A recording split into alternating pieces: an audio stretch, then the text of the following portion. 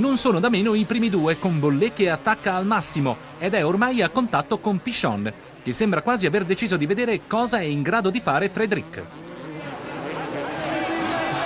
Infatti Michel allarga la traiettoria e lascia passare Bollé, che adesso deve dimostrare di essere...